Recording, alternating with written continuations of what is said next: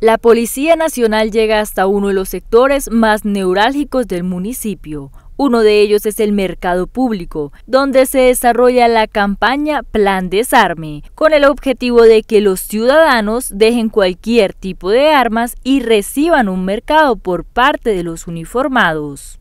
Eh, tuvo bien realizar el Plan Desarme. El Plan Desarme hace referencia a una campaña que de manera voluntaria el, la comunidad hace entrega de las armas de fuego que poseen en sus negocios, en sus casas y que desean, pues, lo repito nuevamente, de manera voluntaria entregarlas con el fin de sacarlas de circulación.